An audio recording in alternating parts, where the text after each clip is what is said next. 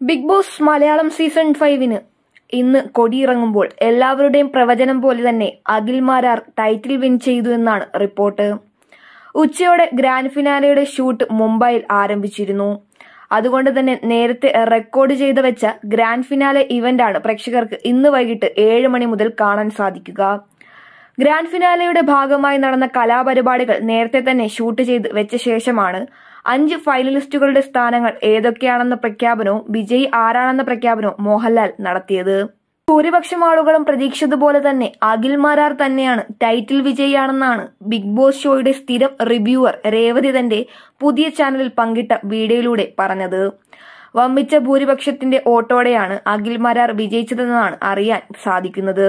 YouTube പോളിംഗിലും Akhil തന്നെയാണ് ഉയർന്നു നിന്നിരുന്നത്. എല്ലായിടത്തും അഖിലിനായിരുന്നു വോട്ട് കൂടുതൽ. യൂട്യൂബ് പോളുകളിൽ അറുപത് ശതമാനം വോട്ട് അഖിലിനും ബാക്കിയുള്ള നാൽപ്പത് ശതമാനം അവശേഷിക്കുന്ന നാലു പേർക്കുമാണ് ലഭിച്ചിരുന്നത്.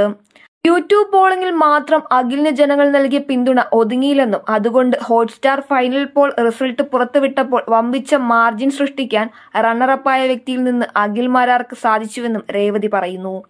അൻപത് ലക്ഷം രൂപ ക്യാഷ് പ്രൈസും ട്രോഫിയുമാണ് വിജയിയായ അഖിലിന് സമ്മാനമായി ലഭിച്ചത്.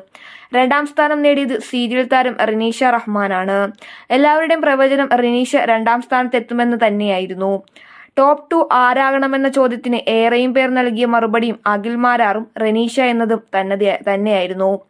ഒന്നും രണ്ടും സ്ഥാനങ്ങൾ നേരത്തെ തന്നെ പ്രവചിക്കാൻ പ്രേക്ഷകർക്ക് സാധിച്ചിരുന്നു. പക്ഷേ മൂന്നാം സ്ഥാനത്ത് ജുനൈസ് ബി പി എത്തുമെന്ന് പ്രേക്ഷകർ പ്രതീക്ഷിച്ചിരുന്നില്ല. ശോഭ വിശ്വനാഥിനെ കടത്തിവെട്ടിയാണ് ജുനൈസ് പോളിൽ കുതിച്ചുയർന്ന് മൂന്നാം സ്ഥാനം നേടിയത്.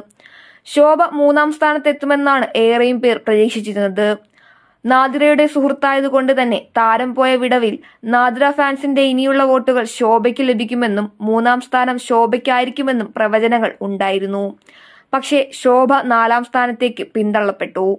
ഒന്നാം ദിവസം മുതൽ ഹൗസിലെ അവസാന ദിവസം വരെയും വിജയി താനായിരിക്കുമെന്ന് അടിക്കടി പറയാതെ പറയുകയായിരുന്നു ശോഭ. ഗ്രാൻഡ് ഫിനാലെ വേദിയിൽ ധരിക്കാനുള്ള സാരി കൂടി കയ്യിൽ കരുതിയാണ് താൻ വന്നതെന്നും നൂറ് ദിവസം ഹൗസിൽ പിടിച്ചു നിൽക്കുമെന്നും ശോഭ പറയുന്നുണ്ടായിരുന്നു. ടൈറ്റിലിനു പകരം നാലാം സ്ഥാനം കൊണ്ട് തൃപ്തിപ്പെടേണ്ടി വന്നുവെന്ന് മാത്രം. അഞ്ചാം സ്ഥാനമാണ് സീരിയൽ താരം ഷിജുവിന് ലഭിച്ചത്.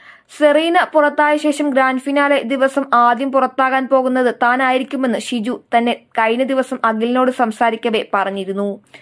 സീസൺ ഫൈവിലെ ഏറ്റവും നല്ല സുഹൃത്തുക്കളെന്ന് പ്രേക്ഷകർ ഒന്നടങ്കം പറഞ്ഞത് അഖിൽ മാരാറും ഷിജുവും കോംബോ